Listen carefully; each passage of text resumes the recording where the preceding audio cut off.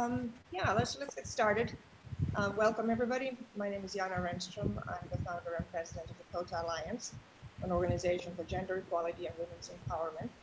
Um, and as we know, um, the United Nations has, uh, and all the countries of the world have approved the um, Sustainable Development Goals.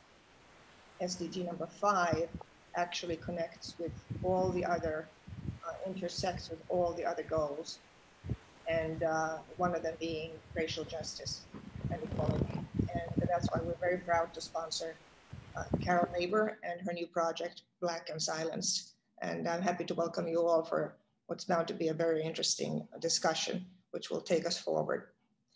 Uh, so welcome everybody, and Carol, um, over to you.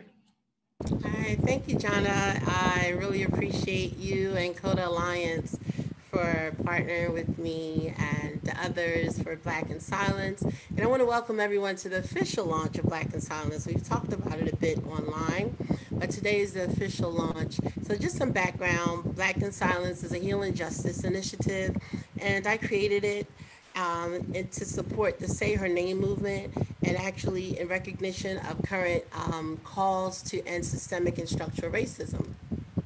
It's a campaign for us in a safe space as Black women, for us cisgender and transgender included, for us to share our experiences, our story of trauma, abuse that has existed in our communities for years and centuries, and also to address the, the racism, the microaggressions, the discriminations that we've all faced or know someone that have faced it globally.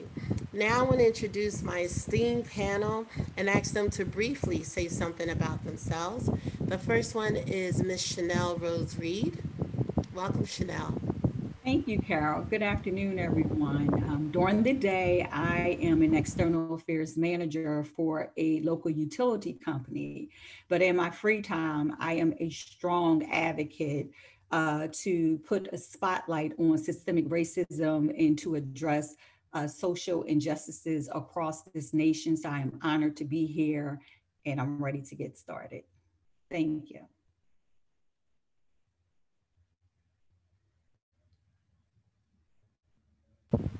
Thank you, Chanel. And the next person is Ms. Rosalind Page. And Rosalind is the founder of Black Femicide. I came across Rosalind's movement on Facebook, and I'm so impressed about the work that she's doing. But let me give you an opportunity to introduce yourself, Rosalind. Hi, thank you. Uh, my name, as she said, is Rosalind Page. I am a, I've been a nurse for over 30 years. I am the founder of Black Femicide US. And um, I'm so honored to be among the other panelists. You know, this is, you know, just it's, it's a, a great honor for me. Um, as I stated, I've been a, a nurse for over 30 years. Uh, that's what I do by profession, but in my uh, spare time, I uh, actually uh, uh, record data regarding um, as many Black femicides across America that occur as I can. So that's, that's just a little bit Thank you very much. The next person is Saibatu Mansaray. Welcome. Thank you for joining us. And I love your beautiful background in Sierra, of Sierra Leone, where I am. loving it, loving it. But please introduce yourself and tell us a bit about yourself. Great. Um, I'm Saibatu Mansaray. I'm originally from Sierra Leone.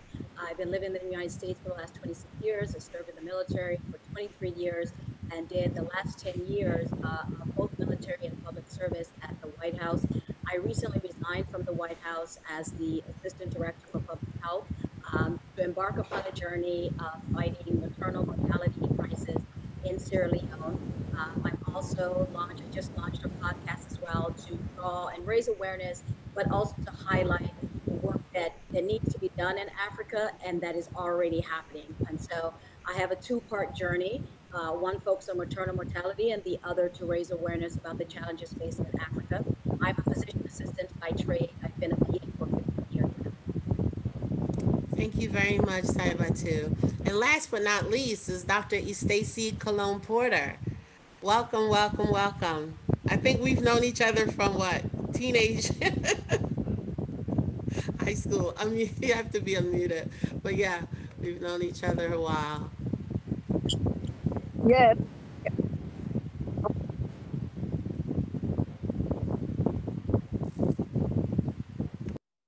amongst the other panelists. So I am Dr. Colón Porter. I'm a first generation uh, Garifuna American. Uh, my parents, I'm daughter of an immigrant. I proudly say that. I am an Army veteran, served for over 22 years with my career ending as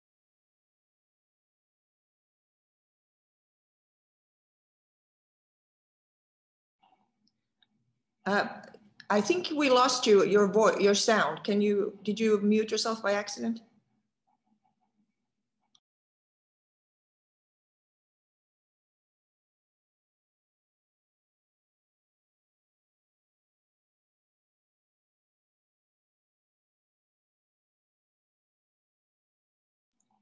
Now we can't hear anything. And Carol, you're also muted. Okay. What happened? I had the fan on. That was the background noise. So I turned Ah, it off. Okay. so I turned it off. Okay, she's coming back now. Thank you. Oh, I am so. Okay, you're fine. There you go. Go ahead. Yeah. Okay. So, um, I don't even know where I left off, but yeah, so I'm a veteran of over uh, 22 years, served 22 years, ending my career as chief of preventive medicine. I'm a nurse practitioner and with an extensive background in public health. I am a huge advocate of, um, you know, immigration reform, um, health, uh, addressing health disparities, and a whole very, you know, just various topics. I'm also the founder uh, president and founder of Jewel in His Eyes, which is an international nonprofit where we empower girls, women, nurses, um, and communities to be the healthiest version of themselves. Thank you very much. And now, before we get started with our reflections and our questions, I do want to have a moment of silence for some of the women, cisgender and transgender women, that have lost their lives to police brutality and other forms of violence. Breonna Taylor, 2020. Nina Pop, 2020. Tony McDade, 2020. Charlene Lyles, 2017. Korryn Gaines, 2016. Sandra Bland, 2015. Alexia Christian, 2015. Mya Hall, 2015. Meagan Hockaday, 2015. Janisha Fonville, 2015. Natasha McKenna, 2015. Tanisha Anderson, 2014. Aura Rosser, 2014.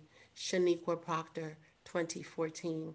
Michelle Cusseaux, 2014. Pearlie Golden, 2014. Gabriella Nevarez, 2014. Yvette Smith, 2014. Miriam Carey, 2013. Kyam Livingston, 2013. Kayla Moore, 2013. Shelly Frey, 2012. Melissa Williams, 2012. Alesia Thomas, 2012. Shantel Davis, 2012. Sharmel Edwards, 2012. Rekia Boyd, 2012. Shereese Francis, 2012. Aiyana Stanley Jones, 2010, and Latasha Harlins, 1991. And I wanted to start with those names because they're really some of the names um, that that that makes this journey worthwhile.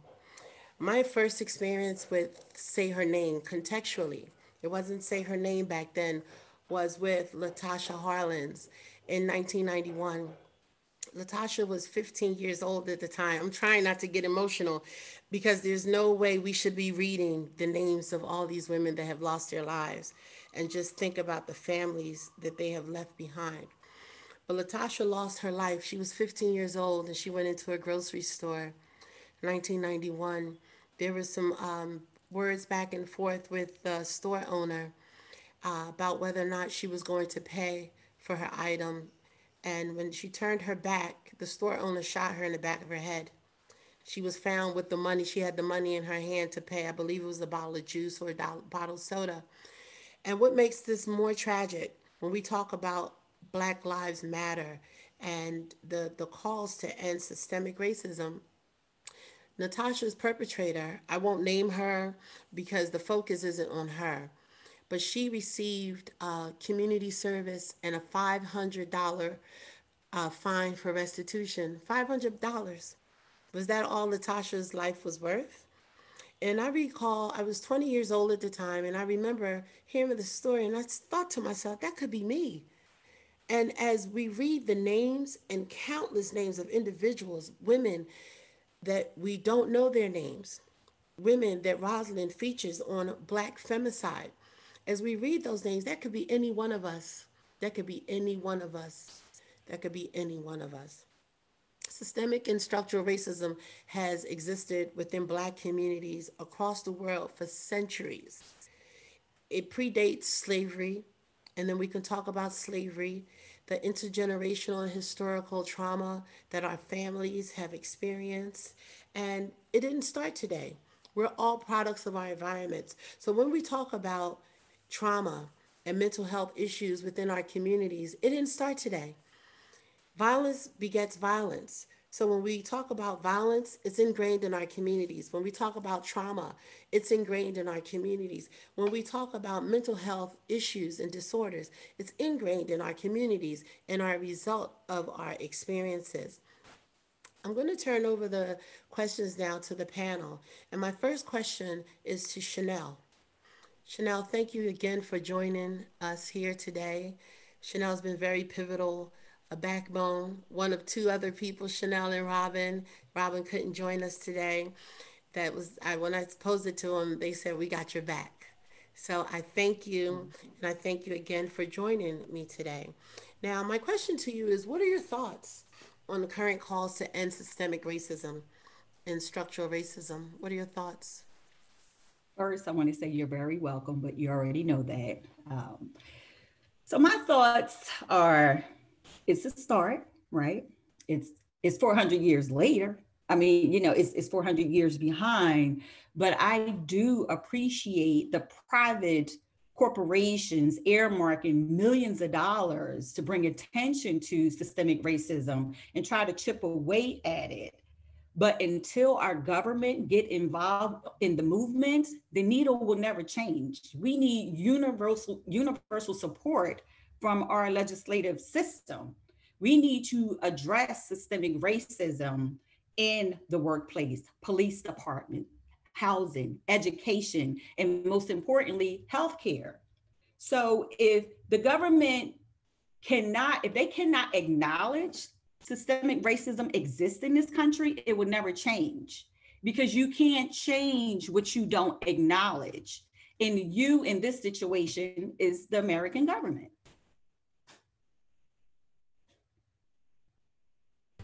Thank you very much, Chanel, for sharing that with us. And I concur. The systemic change needs to happen. And you can find it in every nook and cranny of heterogeneous Black communities across the globe. So thank you very much for that. My next question is to Rosalind. As I said earlier, I met Rosalind through her work online with Black Femicide. So Rosalind, I want you, my question is really um, what inspires you to do the work? But I want you to really take us back to how this got started. So your question is three prongs. What inspired, how it got started, what inspires you to do this work, and how many women have you featured? Okay. Um, uh, as I said, I've been a nurse for uh, a, little over 30 years. I've, a lot of my uh, nursing work has been in uh, public health and uh, in community awareness um, how I got started was I, you know, as as a nurse, when patients come in, you know, you uh, give them questions like intake questions. I noticed that a lot of my Black female patients, be they girls or women, uh, a lot of them had a history of sexual abuse, emotional, and physical abuse. And then when uh, you start going further, a lot of them know or were close to whether it be family, friends, colleagues, what have you, who were victims of homicide. Um, about two years ago, uh, no, I'll go back further. About three years ago, a colleague of mine started a project and uh, she kind of uh, became like a mentor to me. She started a project, and some of you might know of it called Women Count, where she uh, started documenting uh, women, you know, murders, murdered women. Um, and again, I appreciate her. She's a mentor, but she's a, she's non-black. Um, I noticed that a lot of the victims uh, look like her, and that that's not unusual for people to you know look in the mirror to see you know victims.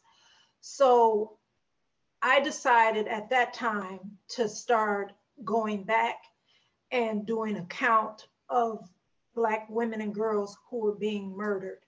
And as uh, for me, I see it as twofold for Black women because not only does it comes from systemic racism outside of the community, we also are impacted by misogyny within the community. So it's twofold for us. Um, and to date, as of today, there have um, I have recorded 888 Black women and girls that have been murdered today uh, through my independent research. Um, in totality, it's more than uh, 2,000, and that's um, probably closer to the 3,000 uh, earmark, and that's just for the last two years. And uh, one thing I would like to say is um, I know that uh, the uh, FBI in 2016 stated that every 19 hours, uh, a woman is killed by her partner. But my estimates, my independent research, my spreadsheets, you know, I readily share them with people. My spreadsheets will say that that data is actually closer for Black women, 7.8 hours. So okay. either that number was kind of uh, skewed or, you know, I'm, I'm not sure how they came upon that, but as I stated right now, my data says for Black women is 7.8 hours. And we're also two times, uh, our murders are twice as much as Asian uh, and white women in this country. Wow, that's a lot of women. And I know. And Carol, work- can I can I piggyback off of that real quick? Sure. Going back to those uh, statistics, and I know in 2016, the Black and Missing Foundation they gathered statistics for the FBI, and in 2016 alone, not to go separate the the killing, but let's talk about our our women and people of color that's going missing. In 2016, there were over 240,000 people of color wow. that came up missing. And wow. of that, this this is really was mind blowing. Of that 240,000 uh, people of color that was missing, 37% of them were teenage girls under the age of 18.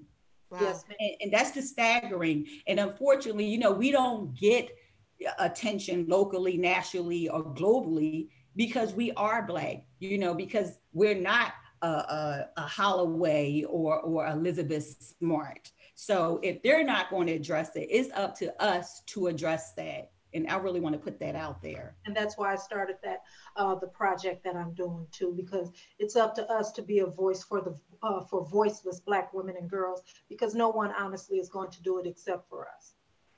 Thank Absolutely. you, ladies. And for the other panelists, you're feel free to jump in uh, to piggyback off of the answers that um, that are being posed. And for the individuals that have joined us online, I thank you. And if you have a question or comment, please put it in the chat room. And hopefully, we'll have time at the end so that you can um, ask your questions online. Now, I'm going to go over to Dr. Colón Porter because what you guys have discussed, um, the statistics, the numbers are staggering. The names of some of the women that I have um, mentioned earlier, Some of the women actually had encounters with police and they were suffering with mental health disorders. They were suffering with mental health disorders. There's a lot of healing that needs to take place within our community. Just like there's systemic racism, there's systemic trauma in our communities. When we talk about misogyny and different uh, forms of violence against women, we haven't even um, discussed sexual and gender based violence and, and how many of us are victims of se- uh, sexual and gender-based violence. So, Dr. Colón Porter, I want to I want to turn this over to you. How do we address this? How do we address systemic racism, systemic violence, systemic trauma, and moreover, how do we heal?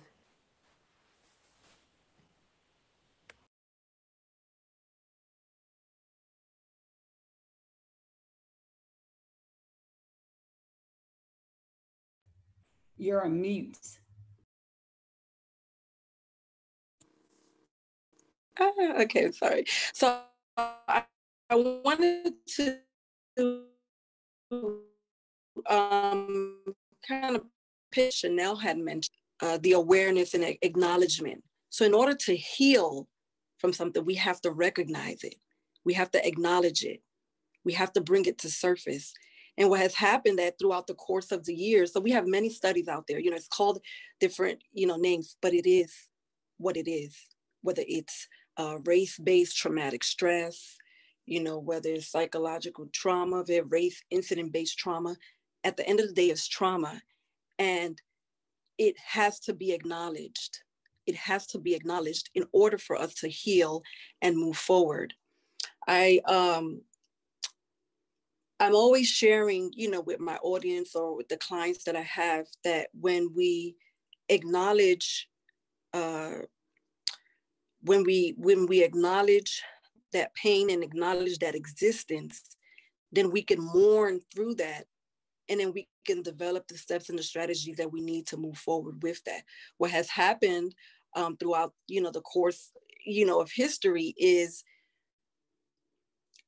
we we're a body of people across the African diaspora who have been oppressed, but yet we've been told that basically it, it, it never existed or it doesn't exist or get over it. You know, when those terms are shared with us or told to us, that is again re-traumatizing that individual or re-traumatizing a, a group of people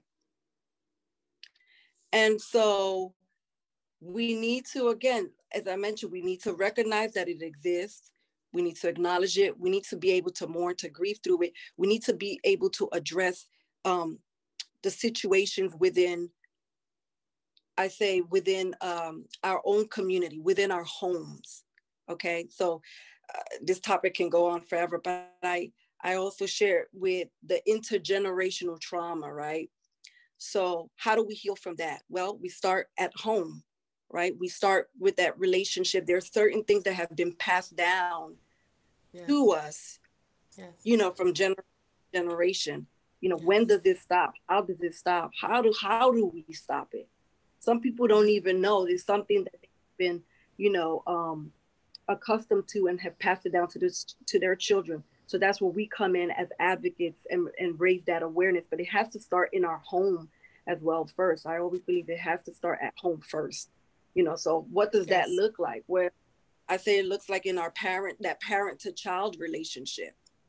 Um, I I wrote a book, you know, a few years back, and ch- it was co-authored with other women. It was called "Step Into Your Healing," and my chapter mm-hmm. went into how I was sexually uh, molested, right? Okay. And um, I explained how I had to confront, you know, the person that did that. That's a part of kind of the integration, intergenerational trauma. Um, I had to recognize it. I brought that up, you know, raise that awareness to that particular person. Um, in our generation, we don't like to talk about those things. We want to keep it hush, like it didn't exist right? It, it didn't exist. Mm-hmm. If we can't fix at the home front mm-hmm. what is going on, then it becomes even a grander problem. Um, if that makes sense. And as a community, I just believe that we we need to walk together in that. You know, those that consider themselves allies, you know, join us in that walk together with us. You know, don't oppress us.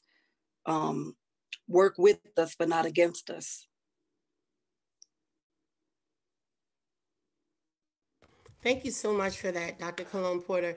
And it's so important that, excuse me, that we address trauma, the root of trauma. Let's look at the, the root of the trauma because a lot of times when you talk about the trauma that's been handed down to us, intergenerational trauma, trauma as uh, us as practitioners that, that deal with this, we know that trauma interrupts the development. It, it, it, it interrupts the development it affects the brain. So there's physiological as well as psychological effects of trauma. And when trauma occurs in our within our communities and we're absorbing that trauma as kids, it's impacting us. Identity formation starts at a very young age. Who are we? And if we're surrounded by trauma, whether it's direct or indirect, it starts to become a part of us. One of the things that was very heart wrenching to hear uh, when is when people that is heart wrenching to hear is when people say about individuals that have been killed by the police. Oh, if they only obeyed the commands. Oh, if they only did this.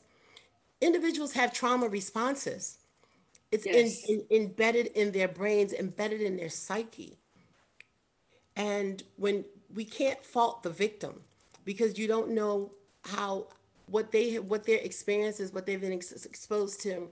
And I particularly look at Sandra Bland's um, situation when she lost her life, and people were blaming her for taking her life. No one knows for sure. Her family said she did have some depression. She got over it. But again, us as, tra- as uh, practitioners, we know that people are triggered. People are triggered. There are trauma triggers, there are memories, PTSD occurs, and there's also comorbid um, depression, anxiety, psychosis that happens with individuals that experience trauma. So when we're looking at, at trauma from a systemic standpoint, when we look at systemic racism, we have to deal with the effects. We have to deal with the effects. I'm going to get to you, Cyber, too, but I want to introduce Natasha Warner and bring Natasha on because Natasha is an advocate in her own right. She's also my soror, the best sorority in the world, Delta Sigma Theta. But I want to bring you on, unmute your mic, and just tell us a bit about yourself, Natasha, and your thoughts so far on the conversation, and and and and um, what are you doing?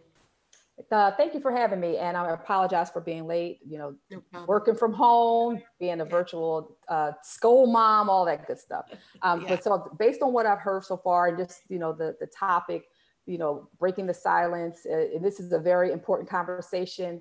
Um, it's also important to me because I am I've just recently enrolled to become a licensed professional mental health counselor. Yes. We need more, and we need more people, women of color, men of color. So the men out there um, I see my good friend Kevin. I see Keith on the line. So I'm glad to see that the men are stepping up. Um, but this, this is important. This conversation is so vital to our community. I heard Dr. Porter mention something that, you know, in an African American community, this is not done. So I applaud you ladies um, and gentlemen for being here. We need to have more of these courageous conversations. Um, it's, it's needed and it's, it's, it's good because there are, are advocates in, the, in, this, in this space right now who are talking about mental health and it's important that we take we break the stigma like we stop that we stop the notion that mental health or that person's crazy or yes. you know I, I even I, I, mean you mentioned that I'm an advocate so I go on my Facebook page and I use my social media platform to, mm-hmm. to advocate for yes I saw a therapist last year um, mm-hmm. I had a, a, a, horrific situation that happened I was actually at Keith's house when it occurred uh, my mm-hmm. sons almost drowned both they're now nine and ten but my son's almost drowned. And, you know, uh, that same night, a friend of mine invited me to a party and I texted her and I said, girl, I can't make it. The boy's almost drowned. I mean, I'm just shaking. She said, I'll just come on over and get a drink and you'll be all right. Yes. And it was, it was, it was not that it was insensitive of her because she's a very dear friend of me and she loves the boys if they're her own, you know, sons or you know nephews, etc. But mm-hmm. I think people don't realize how how traumatic yes. trauma can be. Yes. And so for me, you know, the the way in which I could look at it is like, oh, you know, they didn't, you know, the positive mind, you know, a reframing is, oh, nothing happened. They they they made it out. Um, mm-hmm. But the the part of me is I had to deal with the anxiety and the yes. the the stress and just the thoughts that were were going mm-hmm. through my head. Um, so trauma can look like anything. I mean, it doesn't necessarily have to be something that occurred or it's just something that you survived. But it took me a year. It took me going to see a therapist to realize and recognize that every day. This is what I said I was going to tell my patients once I become licensed. Is that um, I, I, had a I had surgery last year. My left kidney was removed, so I talk about that on my my page. That was traumatic. Of uh, finding out that I had kidney cancer or what have you. Uh, but what I thought what I thought about is, and this is what helped me get through my incident with the boys, is think about the day that you had the surgery. You had this, you know, horrific surgery. You're in so much pain, mm-hmm. and you know, the next day, how did you feel the next day? Okay, I was still in pain, but it started easing. And then after like a month, oh, oh, you know, now I'm back to twerking and doing my thing. I'm, I'm back to, to, to being who I want to be on my Peloton. But it took all that time to heal. And so yeah, that's yeah. the same thing. You know, it, it's very, very, very painful in the beginning, but each day, hopefully it gets better with work, with discussion, with talks like this. So mm-hmm. um, I'm just thankful you all, you all are having this conversation. I'm thankful to Thank be you. here. I'm going to sit back and listen and, and, okay. and, take all this knowledge and expertise in. You all rock, you know, and I wore my earrings for Carol. ah, there we go. He's the motherland. But um, yeah, I, I appreciate you all for having me on this conversation. I want to continue to see more like this take place. So thank you. Uh, thank you, Natasha. And now I'm going to turn it over to Saibatu. I was going to chime in first on um, sure. Natasha's uh, point, um, sure. and this is something that Dr. Dr. Labor and I have spoken about, spoken a lot about in our community in Africa. Well, let, let me talk about Sierra Leone, so I don't overgeneralize here. In mm-hmm. Sierra Leone, we lack the infrastructure for mental health, and so when people go through things, you're expected to just be strong and kind of go through it, right? And and one of the ways that her and I connected, I lost my father last year, and I'm grateful that I was in the United States when when that happened to a degree because the support system is a little different than in Sierra Leone. We have a community support system, you know, family members will come over, but the mental health aspect itself, like there would, I would not have been able to go sit with a counselor and talk through what I went through. Now, I must also say, I still didn't do that here in the United States. I kind of turned to my faith instead, but it's because my upbringing didn't even, I, you know, I'm not used to it. I'm not used to going to talk about my problems, right? If something is wrong, if I experience some sort of trauma, you're supposed to be tough and you just work through it. Um, mm-hmm. and, and, we, as, as as Black women, we're very notorious for having that strong look, and and and, and even the men, right? We want to represent strength, um, especially when we have children, right? So even when I was grieving my father, I tried to like separate my my kids from that because I didn't want them to see their mother in that weak state, call it that, even though that's not what that is. But mm-hmm. I quickly learned that how do I teach them, talking about the intergenerational problems, right? If I don't teach them now how to deal with these things, then they grow up themselves thinking I need to just power through. And you may not necessarily have all the skills to be able to power through certain bad things in, in your life. And so I'm, I'm grateful your, your, your, your conversation really kind of sparked what we definitely need in the country that I that I'm heading back to uh, because we just lack that support system whatsoever. It's just family coming together to talk through it. So, uh, Dr. Dr. Lay, we're back over to you to keep it. Sorry, I had to digress there for a second.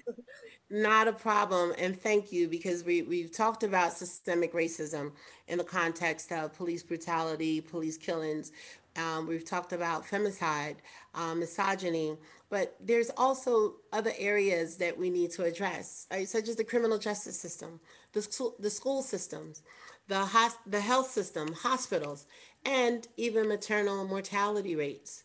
It's systemic. It impacts Black women at a higher rate than any other women in the world. So, um, my question to you, Saibatu, is what's how important are our allies? I know Chanel t- uh, touched on it, but how important are our allies? And then tell us more about the work that you're doing in the area of maternal mortality and addressing that because systemic is it's it's it's the root of the issue. And like a tree, there's branches. It goes different ways and it impacts our communities. And we we cannot sit back and say, "Oh no, not me, not us, not our child." I'm a mother of three black boys. I'm currently in Sierra Leone. I every morning when I wake up, I think about my boys. Before I go to sleep, I think about my sons because they're all taller than me now. They're all at least six foot tall.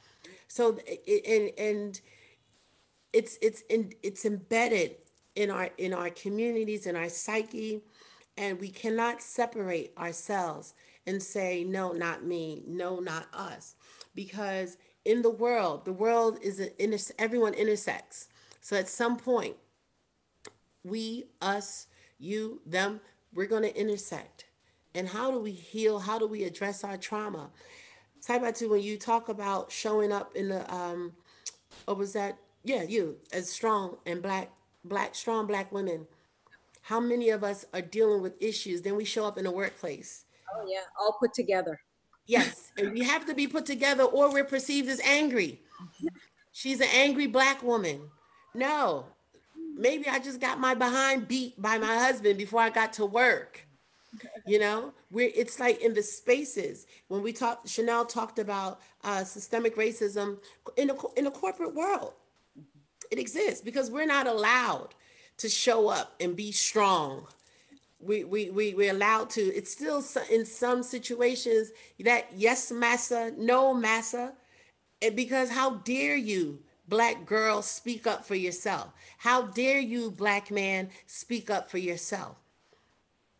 And then they'll people they'll do when we talk about microaggressions. Oh, you're different. You're not like them. Oh, I am them. Yeah. Or I mean, I even get when people actually see me, they'll hear my voice, and I get, oh, you're Carol.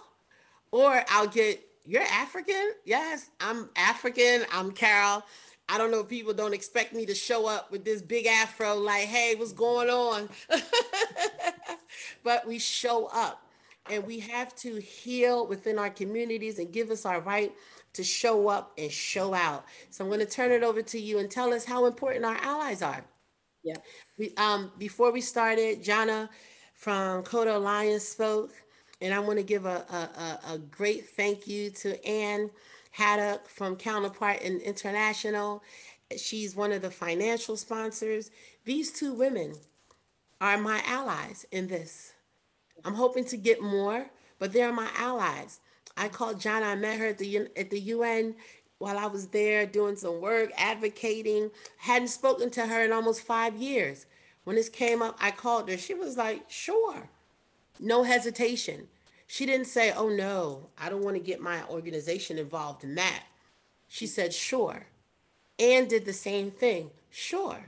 So, Saibatu, I'll turn it over to you and tell us the importance of having allies. I may uh, go off on a tangent there for a little bit. I get very passionate about things. Okay. So bear with me here. But I think that's a very good question. I think it's an important one uh, that we all need to embrace as we navigate what now seems to be a very chaotic world. From a personal standpoint, and, and, almost similar to what you just said, without allies and champions and cheerleaders, I would not be sitting here among all of these esteemed and extremely brilliant women.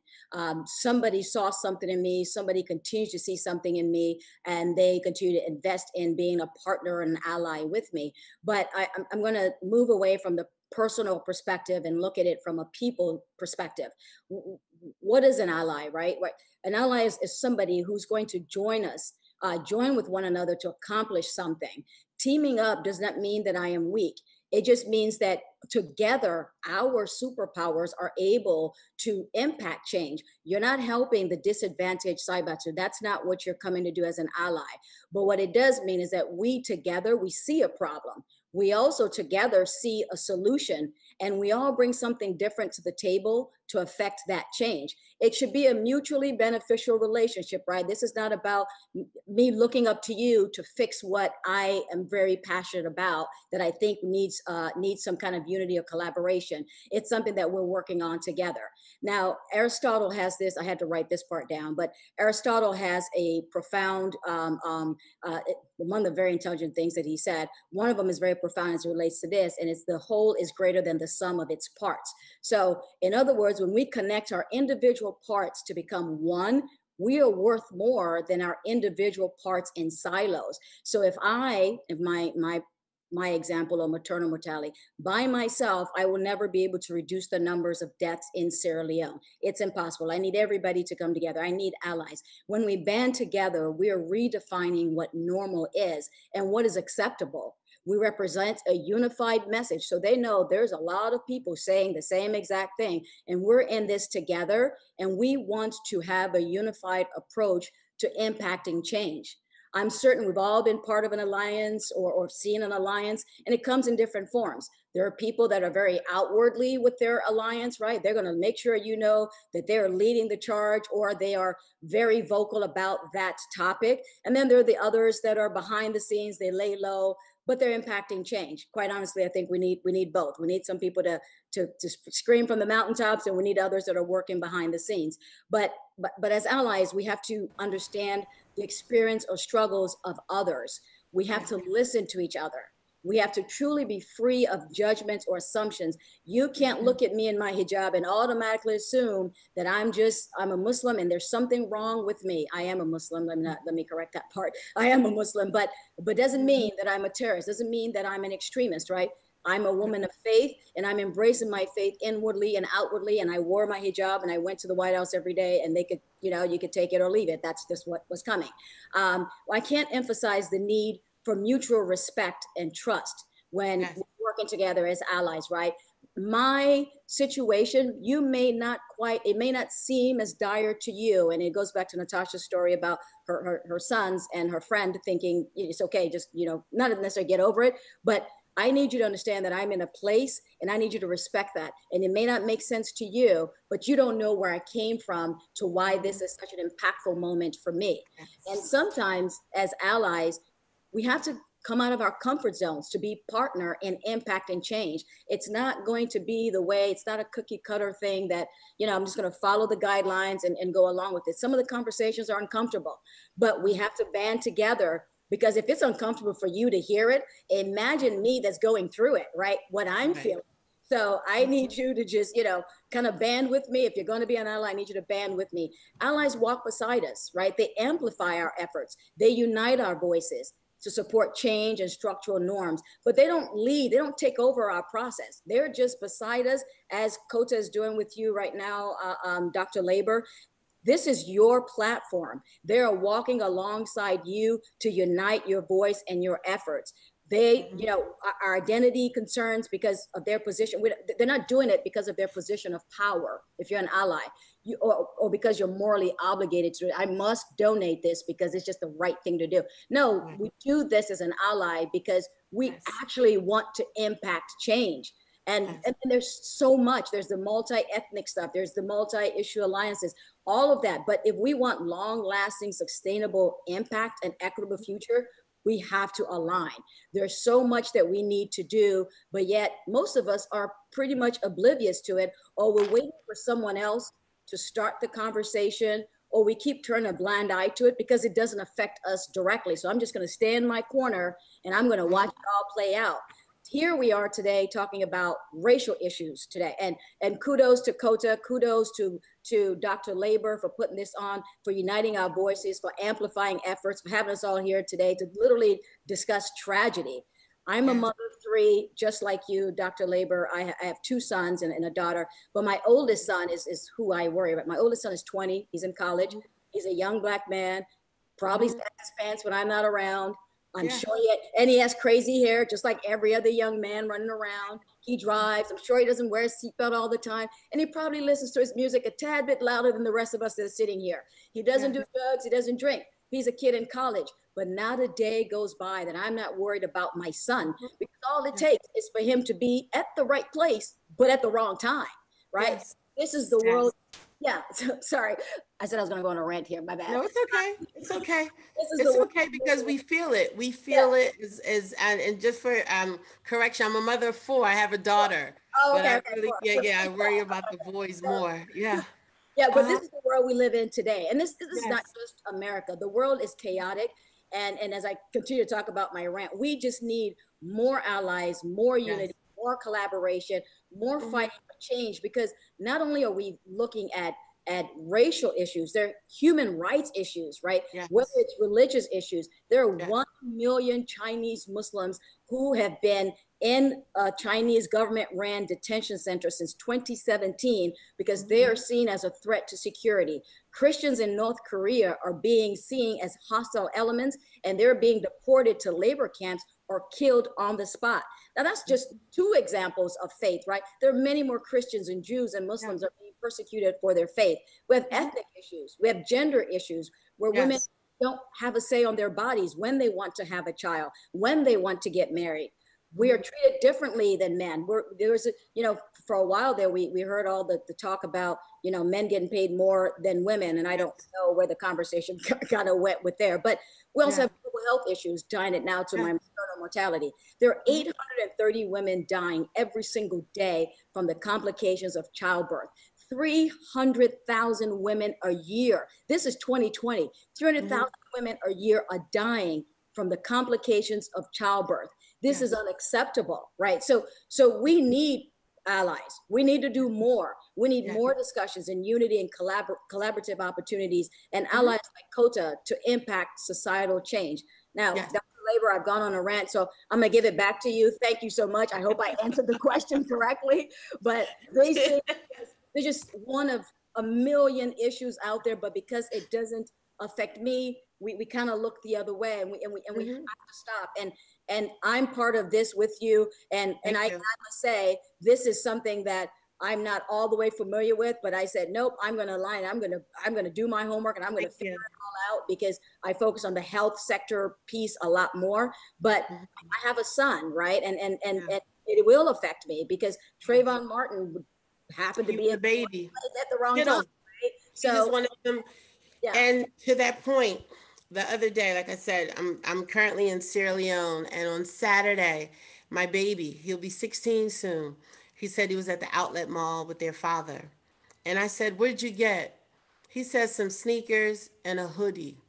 When I heard, when I heard the word hoodie, I'm I, in in my in my mind, I'm like, you can't wear a hoodie, but I don't want to scare this baby but it's something it's a it's a trigger when we hear these things hoodies Yeah. our children aren't allowed to wear hoodies play with toy guns cowboys and robbers i mean it's it's it's it's when we talk about trauma and what this has done to us as a community heterogeneous communities because all black communities aren't the same.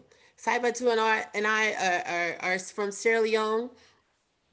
You have Garifuna, you have our Black Americans, you have Caribbean Americans, Jamaican Americans, Chinese Americans, I- I mean Chinese blacks, and, and you have so many diverse communities of color, black women that are dealing with these issues. And so I thank you guys so much. Now I want to turn it over. If we have any questions for the Yeah, I just wanna um, for the panel, I want to go back. yourself. Okay. Yeah, I just want to go back. I want you to say something as well. Thank you for joining. After Chanel, Keith, let's give you the floor.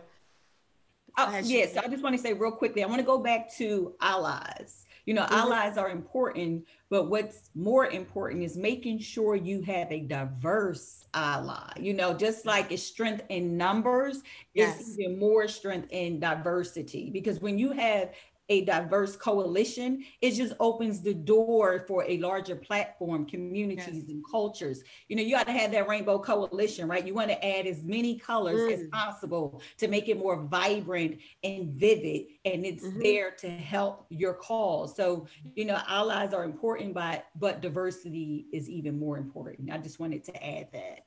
Like Thank you. And just to piggyback off of that, funding.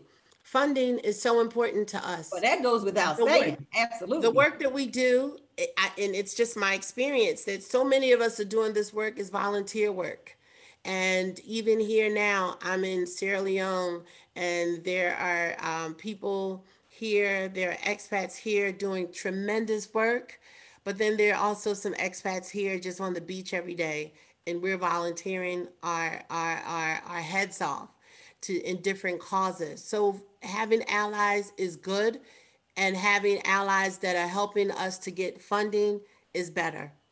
Um, Keith, can you join us and say a few words, questions, comments? You're muted.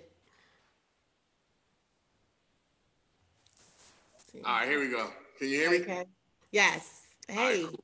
I, I, I'm like Saibatu. I can go on a rant myself, but um, Yeah. I, I was driving, so I didn't have my video on, but I heard everything you ladies were saying. Um. Carol, I miss you. And, I miss uh, you too. you know, you are you ladies already know you have, you have an ally in me. But um, I, I heard something you all were saying in regards to systemic racism, and I Mhm. think Chanel had um, said it very clearly. Uh, we have a president here that doesn't think that there's any such thing as systemic racism in this country. I mean, with all the examples that have been given across the world, there's no such thing as systemic racism. And just like alcoholism, until you admit you have a problem, you cannot defeat that problem. You cannot even begin to attack that problem. You have to admit that there's a problem first. Once you admit that there's a problem, then you work towards a solution. The other thing is, as Black people, we have to be willing to put the work in. When we put out a boycott for a particular store or a particular vendor and we don't boycott or we don't show our economic power, yes. all we're doing is all we're doing is giving the floor back to them. I mean, so we have to also put the work in, and we have to be willing to sacrifice in order to put, you know, in order for the greater good. So Yes. leave it at that. Thank you for sharing that, bro. I really appreciate it. Any other questions, comments from the other participants? Yeah, I wanted to say, you know, thank you, Keith, for being and thank you for being an ally. And it's so important. You know, I'm always having um, heated discussions, you know, with my husband, you know, about um, just the need for our Black brothers. And I'm going to say that our Black brothers to be there for us Mhm. when our Black women are being killed or being harassed, you know, to step up. I feel that that's like a missing piece, or rather, let me just say, um, when I see in the media, as recent as what you know, uh, what occurred with George Floyd, right? There was this the massive movement that happened behind that. You know, women, of course, we're going to show up and show out. Our black brothers came together. This was a whole global thing that happened. And then in the midst of that, Breonna Taylor. And I'm like, where's my black brothers? Yeah. You know, where are they? And so that's so so I, I, I you know, uh, Dr. Labor, so Yes. Cap, want to ask Keith, you know, what um how do how do what do you see or what needs to be done to mobilize our black brothers when it comes to that to be allies for us black women Mm. I would say uh, more of a brotherhood. I mean, we we we as black men have to learn to love ourselves first, Yeah. and then we can love each other. Once we once we learn to love each other and stop gritting at everybody and and, and, and being aggressive at, at each other, then we can start to love you all. But we we we first have to learn to love ourselves. I see so many uh, young men um, raised in, in single parent households by a female, and you know these these brothers need to come back to their sons. You know, and I understand the daughters need I understand the daughters need their fathers too. But in this day and age, in this country, the young brothers need their fathers. And until we can come together and mm-hmm. and learn to love ourselves, we can't love you. We can't even love our own women so that we can protect our women because we're too busy battling each other. You know, so Yeah. until we learn to come together as one and, and, and have a, a true brotherhood, then we can protect our women. And and to to your point, Keith, when we call when we when we when we call on our brothers to protect us, we also want to call on our brothers that are in positions of power to protect us as well. When we talk about systemic racism, violence against each other in black communities is systemic. It's systemic. It's historic. I mean, if you take it in a context of slavery, the slave masters, they beat the black men, They rape black women in front of their men. So this trauma, this violence that exists within our communities, within the hood, as so as people like to say, it's intergenerational and it, it was learned. It's like a baby when a baby is learning how to walk. You're right, Carol. And the other thing, we, we, had a we had a young brother shot and killed yesterday in West Philadelphia. Yes, I saw first, that. First thing you saw was his mother run to his rescue. Yes. You know, and that's reminiscent of mm-hmm. during slavery when the black male was being pulled away from the family yes. and sold off to another plantation. The yes. mother. So when a black man gets into trouble, mm-hmm. the black woman, the mother, is always there. That's not my yes. son. My son wouldn't do that. Always there protecting. And this mm-hmm. is this is this is definitely remnant. This is a these are remnants of slavery where the black woman has seen her son pulled away to get sold off to another plantation. Mm-hmm. We are reliving this, but in a different dimension. We really are. Yeah, we're living in a different dimension, but it's up to us to bring the focus to the healing part, the healing justice. We talk about justice, justice for this, justice for that, ending systemic racism, but that also has a, um, a healing aspect to it as well. Now, we have run out of time. We have talked for an entire hour. Um, we'll definitely do this again because this isn't a one off conversation. Healing starts with us and in, in educating individuals about the effects, psychological and physiological effects of trauma, how it impacts the development, how it impacts the brains of our children, and they're witnessing these murders on television, they're witnessing uh, riots, they're witnessing um, um, rhetoric against Black communities, it impacts their development. So it's it's up to us collectively to promote healing justice within our communities. And that's exactly what we're going to do with Black and Silenced. And I really appreciate all of you guys for joining me today, my panelists, Saibatu Mansaray, Chanel Rhoads-Reed, Rosalind Page, Dr. Stacy Colón Porter, and Natasha Warner for jumping in there. I appreciate it. And Keith, brother, you know I always do. Thank you again to Kota Alliance and Jana and Ann for all the planning and as well as Ann Haddock and Counterpart and, and Counterpart International for their financial sponsorship. The journey continues. Have a good evening, everyone. Well, it's evening here in in, in Africa. It's five and don't forget to vote. Don't forget. To, don't forget to vote. Yes. Yes. yes. Please vote. Don't forget. Don't forget to vote. Have yes. have a good evening, guys. Thank you, Jana. Thank you, Anne. Bye bye.